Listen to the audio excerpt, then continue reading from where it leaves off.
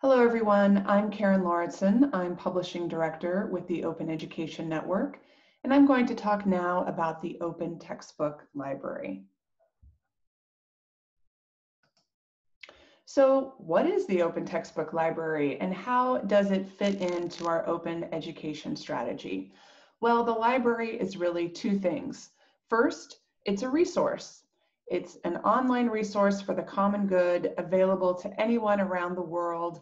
And really our goal is to be a comprehensive referatory that is a one-stop place where faculty can find any open textbook that meets our criteria.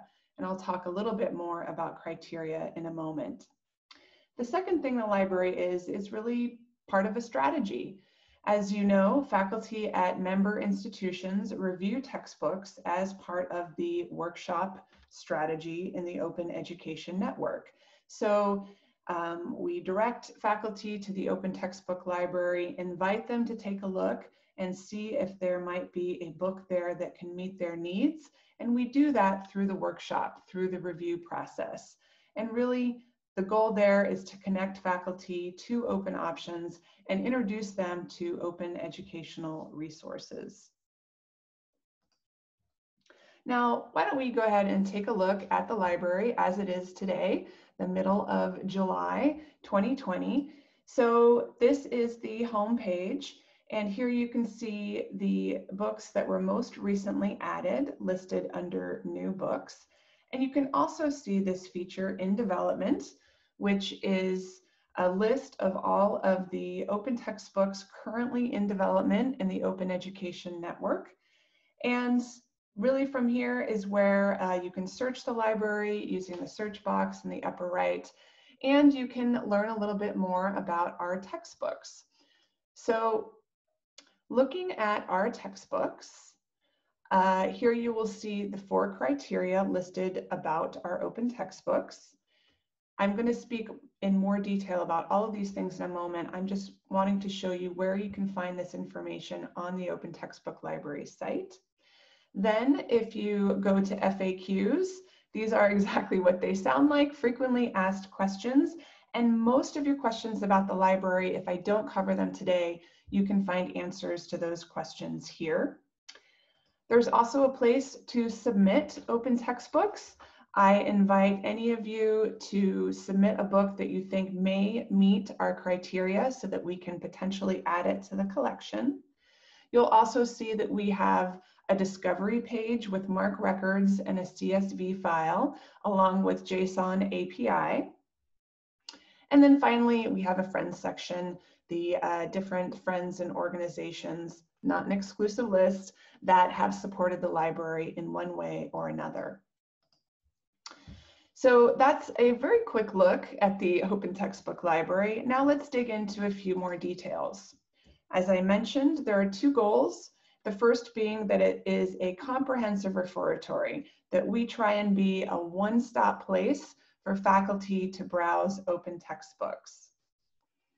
So where do these open textbooks come from? Well, they come from a variety of places, including funded initiatives. So there may be grant funding to support authors in writing and publishing an open textbook. A lot of times those grants are within individual institutions. It may also be the case that an independent author without support from an institution decides, you know what, I want to write an open textbook and share it freely with my students with an open license. It may come from a discipline collective um, a scholarly society decides, you know what, we want to provide this for our discipline and let's work on it together. And lots of other places. The books in the library do not only come from Open Education Network members, they can come from anywhere in the world and we simply review them to see if they meet our four criteria and if so, we include them in the library where faculty can evaluate them and decide if perhaps one works for them. So let's take a closer look at the four criteria for including a book in the library. First, of course, it needs to include an open license, a Creative Commons license that allows for editing. Now, as an aside, you will find books in the library that have the no derivatives license, but just a handful. That's because in the very beginning, we allowed any Creative Commons license, but a few years ago, we decided open means editable, and so we are no longer adding books with the ND license. The second criteria is that the complete textbook needs to be available in a single portable file. So if there's a collection of chapters, that's great, but we also want to be sure that the whole textbook is available in one downloadable file so that potentially a student can download that textbook when they have a reliable internet connection and take it with them wherever they need to go. The third criteria is some kind of institutional or scholarly society affiliation, or the book needs to be used in more than one location.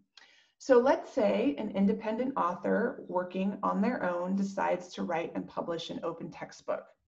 We would look to see if that book is also used by someone else in the discipline on another campus. That is what that third criteria is trying to get at.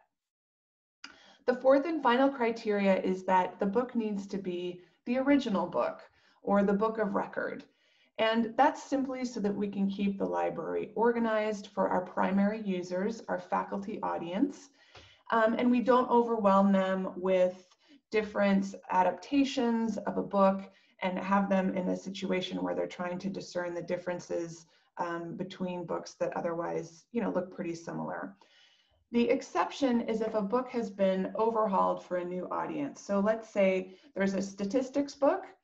If that statistics book has been changed in such a way that let's say the title becomes Statistics for Nursing, and each chapter has been tailored to a nursing audience, that would mean we would add it to the collection because it's now for a whole new audience and um, could be understood to be an entirely new book. So, okay, there are the four criteria. How are criteria developed? Well, as I mentioned, our faculty user is really top of mind. We're thinking about those faculty workshops and we want to make the experience of faculty who may be new to open education. We want to make things as easy as possible for them to search and take a look at a book that may meet their needs. We consult with our steering committee if ever we want to revisit criteria. And we're always thinking, of course, about the future. And so the criteria really do evolve. I mentioned already that we used to accept books that included the no derivatives clause, and then we changed that later on. Um, I mentioned that we are collecting the book of record um, unless something has been revised to an extent that it's for an entirely new audience. As open education grows and changes, we will of course continue to revisit the criteria to address the needs of the open education community. So what's in the library? Well, right now there are more than 750 textbooks and the pace of adding books to the library changes, but there's usually a couple books a week now that um, are new and look to meet our criteria. And we really depend on the community sort of pointing us to those, those books. So again, please always feel free to suggest a book. What is in there is organized by the World Library's outline of academic disciplines. This was a decision we made uh, with the steering committee who suggested we followed an existing structure. Books, of course, are often cross-listed in multiple subjects. And if you hover over the menu, you can see the number of books in a particular subject. So I'm going to show you that now. You can see business, human resources, and there's a little pop-up that says there are eight human resources textbooks to take a look at. So how do you know what's in the library besides just kind of poking around? Well, uh, you saw the search box in the top right on our library page. Um, I mentioned we also have cumulative MARC and CSV records. And again, those are also live. As soon as we add a book to the library, that book is in our MARC records. So feel free to come up with whatever schedule or system you would like to use locally to update your records based on our MARC files. And then we do also um, include our MARC records in OCLC. And those are not live, those are updated at around the beginning of every month. I already talked about where books come from um, a little bit more information. Many of you are involved in publishing at your library, and uh, we do also support your publishing efforts through the Open Education Network, and I'm happy to talk with you about um, your thoughts and goals with publishing. Um, and then we already covered funded initiatives, independent authors, and discipline collectives. They can really come from a lot of different areas. So now we're looking at a book record. Uh, this is Anatomy and Physiology that has been published by OpenStax. You can see this is a very popular book for reviews. It includes 48 reviews. That's also probably because it's been in the library for a while. So um, just taking a look at this, you can see in the top left some basic info about the book. It's been written by multiple authors. It was published in 2013. The ISBN is listed there. And then the publisher is a link. So you can always click on that link and see um, more information about the publisher and, and browse other offerings they may have to, to offer. You can see that the book was written in English, listed there under language, and the vast majority of the collection are textbooks written in English. However, there are also textbooks written in Spanish, French, and other languages. Um, and hopefully those collections will be growing. And just to clarify, I'm not talking about uh, language textbooks, I'm talking about um, textbooks written in other languages for a variety of subject areas. Now let's take a look at those orange buttons under Read This Book. That's where you know uh, the different versions that the book is available in. So you can read the book online, you can download a single PDF, you can also order a print color copy of this particular textbook. It is licensed CC BY, and under reviews, you can read the most recent review um, along with, um, if you were able to scroll down on the screenshot, you can see all of the other reviews if you wanted to take a look at all 48 of them. A book record in the library also shows you the table of contents about the book and a little bit about the authors, which is also not shown in this screenshot. But the intention here is just to give you a sense of a book record in the library and uh, take a look at some of the features. Now here is another book with zero reviews. And that's most likely because this book was added more recently. Other faculty may not have discovered this book and taken the opportunity to review it. It also could be that there are fewer faculty teaching thermodynamics and chemistry than there are anatomy and physiology. Um, so you'll really see a variety of, um, of reviews per book in the collection. But again, this book uh, you can see here was written by a single author, Howard DeVoe, affiliated with the University of Maryland. It was published in 2019. Since Howard is the publisher, you can click and see more about um, his publishing project. The book was also written in English and is available in two formats at least. And it also was written and licensed uh, with the CC BY attribution license. About 74% of the books in the library include at least one faculty review.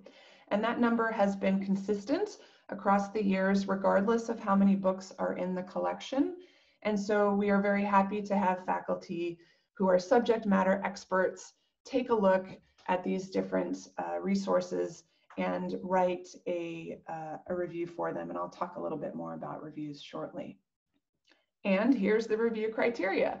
So this has been adapted from BC Campus. It's a list of all of the different areas in which faculty write a review for a particular book. We consider this a light review and it gives um, those faculty who are checking out the book and other faculty who may come after them a chance to get a sense of what is included in the book and um, speak a little bit more to their interpretation of its quality. You can see a breakdown of reviews in the library and that the majority of them are well reviewed and well regarded by their colleagues. There are a few in there, a handful. Um, you can see there who might be rated between one and two stars. but the vast majority of them are four to five stars. When we took a look at the uh, Open Textbook Library page, you saw there on the homepage, Textbooks in Development. I'd like to tell you a little bit more about this feature, which was inspired by the Open Education Network community. Uh, they wanted a way to surface what they were working on, what they were um, going to be publishing in the near or perhaps far future, depending on how the publishing project unfolds, and then potentially um, you know, people can see, oh, at the University of Arkansas, they're working on an introduction to data science. I'm glad to know that's on its way, and I can find someone to contact about that if I have any questions. Um, we came up with this feature in a working group. There are usually a handful of working groups every year in the Open Education Network driven by our members to address different issues in the community. Now, one other thing you should know about the Open Textbook Library is that there is indeed a dark archive. This is in thanks to a partnership with Colorado State University Libraries. And we keep this dark archive just in case something may disappear from the internet, never to be found again. That is highly unusual. Uh, in the four years I've been working with the library, I can think of fewer than you know, three times when that may have happened. And uh, it's just our insurance policy so that if that does happen, we can continue pointing to a file and have that resource available. So that may be of interest to your faculty who have concerns about these resources. There is a dark archive um, that we maintain. Here is a closer look at the submission form. I'm again going to make my pitch. If there is a book out there that you're not seeing in the library and you think it should be in the library, please, by all means, let us know. We really depend on the community to sort of crowdsource these suggestions to keep our collection as up to date as possible to support faculty and students. Now, if you have any questions, again, um, the frequently asked question on the OTL site addresses most questions that come up. Of course, I'm also happy to answer your questions. Um, you are also invited to sign up for a quarterly library update, which you can do at z.umn.edu slash library mail. Thank you for your interest in the Open Textbook Library and your support of the content that's in there and faculty engagement with it. I'm always happy to hear your suggestions for how it can be improved and look forward to meeting and talking with you in person.